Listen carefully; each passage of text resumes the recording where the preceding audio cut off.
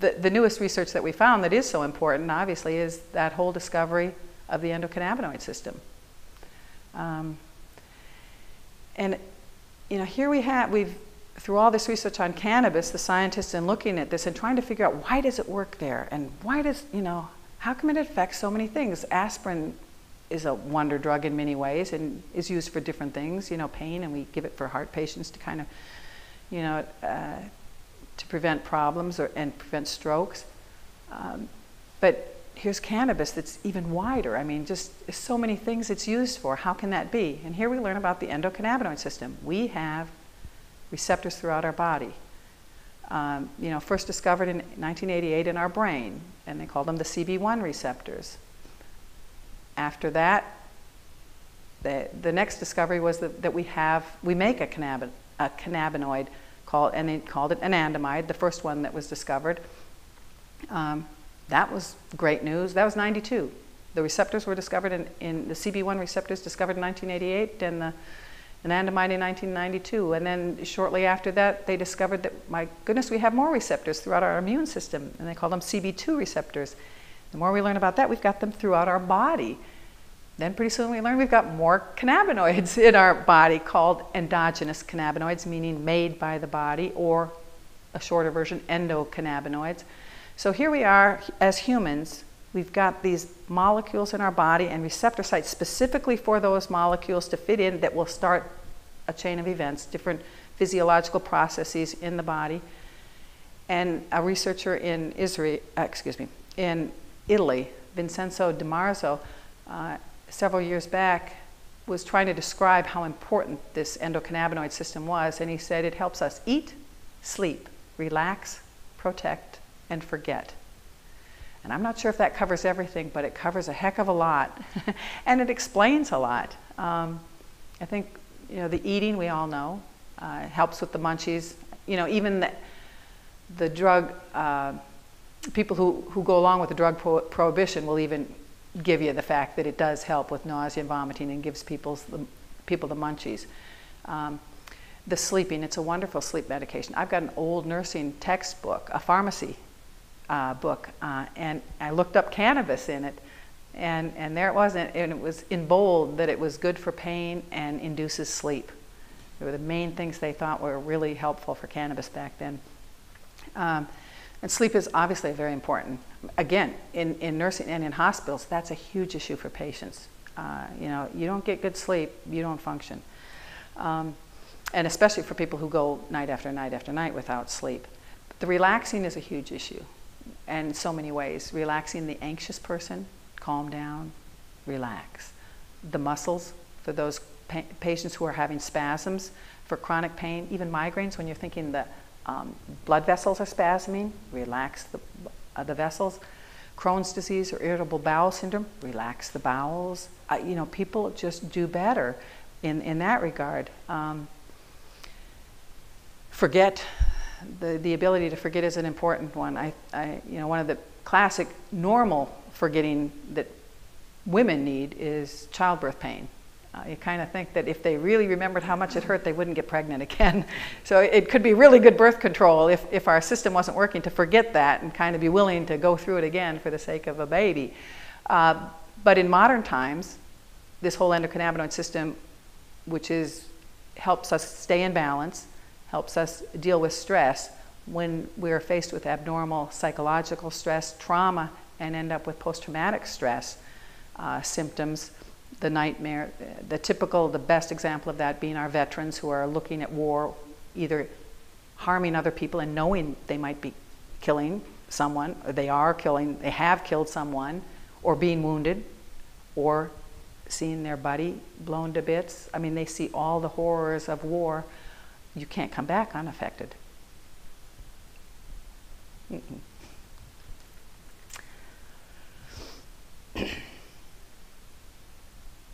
So, you know, soldiers found out a long time ago in Vietnam that that's why I don't talk about patients. When you talk about this, it reminds you of specific patients that you've known? Yeah, you can think of a lot. what they've gone through? Yeah, I mean, they, you know, we do know, we know that um, Vietnam War and now with Afghan, the war in Afghanistan and, and Iran that finally, uh, Iraq that finally ended, that we're losing more soldiers from suicide when they come home from suicide than have died over there. And it's because of what they have to deal with. Face the fact that, you know, they've killed, didn't even know who it was they killed, um, or, you know, living with the injuries that they have. But it, I think the most is that they will always have those memories of what they've seen. The forgetting is very important for them to help uh, make sure they don't oh, they can they can get past it. I mean, the, the nightmares keep them going, the flashbacks. It's it, it obviously is devastating. I mean, when you're looking at someone willing to, to kill themselves, and unfortunately, the system now for veterans is their answer is to give them a lot of medications, which we've seen the veterans, we've heard from the veterans. They, it, it's, the, it's not helping. It makes them feel even worse. And then there's side effects of the medications they get because there's some pretty potent toxic medications. Um, so that, that forgetting is hugely important for anyone who's been through a bad trauma. Um, and then finally, the protect. Uh, the protection on, on the endocannabinoid system is really wide. I mean, like I said, they found the CB1 receptors, uh, CB2 receptors are kind of with the immune system. Hmm, this is part of our immune system. Gee, you know, I mean, we need our immune system is working every day to keep us. We all know, you know, cancer patients or people who go through chemotherapy get put in these isolation rooms to protect them from anything that could kill them. Uh, you know, and you've got to go in gloved and gowned and all this and masked up so you don't get them sick. So our immune system, I mean, just helps us, you know, tackle day-to-day uh, problems, uh, um, bacteria, viruses, you know, fungal things, anything that could could hurt us. Um, so it, it, protects us in helping with the immune system. It's an antioxidant. It's an anti-inflammatory. Uh, it works as a um, neuroprotectant, protecting our nerve cells to actually help regenerate nerve cells. And we're looking at, is this a problem? I mean, for some of our diseases, Dr. Ethan Russo coined the term the clinical endocannabinoid deficiency as a problem. That maybe some people whether you've been overstressed and your endocannabinoid system just can't work as well as it could, or you were born with one that wasn't quite functioning up to par, whatever it be, it might be something that your system isn't working adequately. And with that, if it can't work, you end up seeing problems. And one of, some of them are possibly autoimmune diseases, like multiple sclerosis.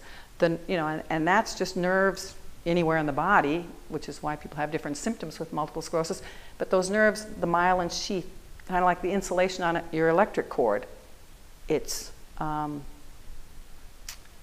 disintegrates, disrupted, whatever. And so their electric system is shorting out in different places, which would make for bad, you know, uneven movements, uncoordination, and just the body not working well. And here, the endocannabinoid system is a neuroprotectant. Part of that job would be to make sure those nerves are healthy and, and functioning up to par. Um, the other part of protection is we're learning that, you know, we all have cancer cells. We've known that.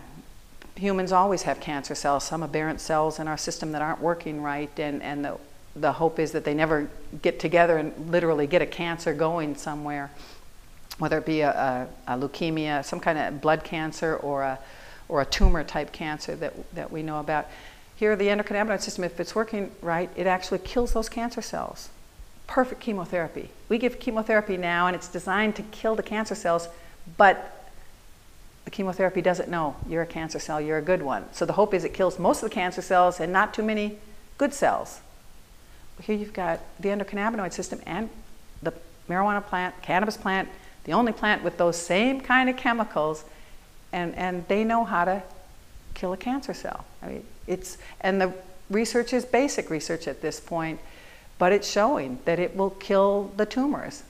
Um, and I think that, kind of going back in time again with the NIDA, it's National Institute on Drug Abuse, its whole purpose to study the negative effects. And so years back in Richmond, they were doing, trying to see how it would cause cancer, lung cancer in and I, pardon me if I forget whether it be mice or rats, but you know, some kind of rodent.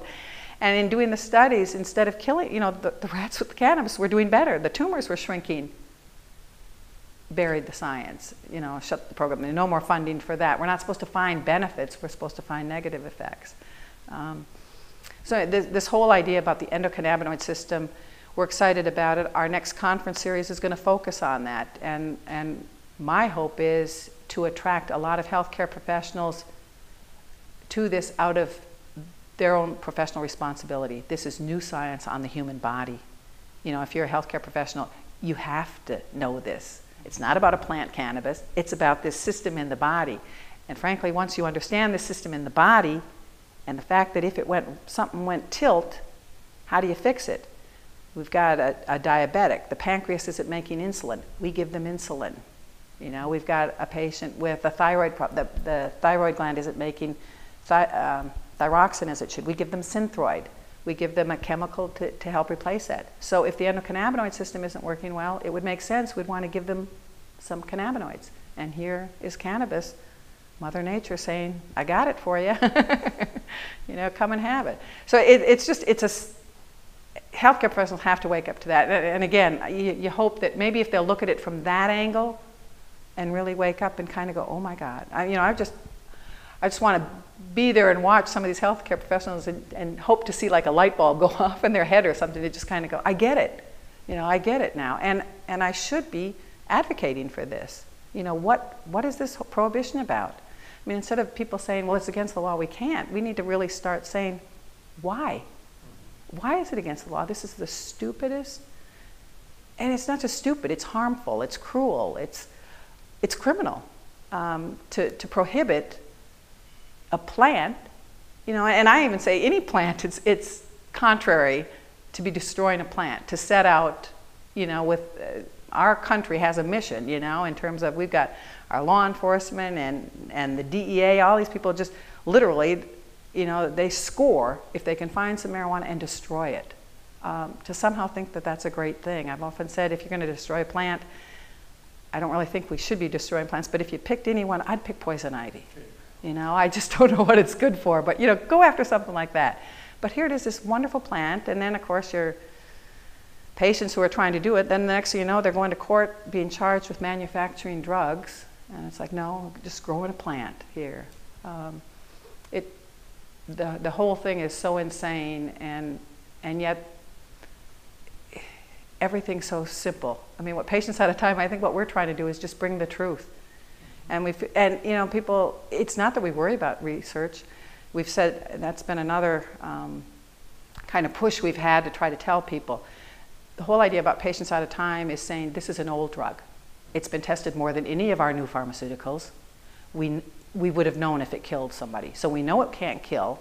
We know it doesn't do this much harm. These new drugs that are out on the market, you know, you kind of think they're safe enough. Supposedly they went through enough studies to, to do that, but how many drugs have been pulled from the market? Because too many people have tried it, and now all of a sudden we're seeing the liver damage, we're seeing the heart attacks, we're seeing uh, osteoporosis medications now, and we're seeing that, oh my God, if you stay on them, your bones break because it gets your bones too, too uh, hard and brittle. So here you've got this old, old medicine, and it's that safe. It's not going to be any surprises. It should be available for everybody.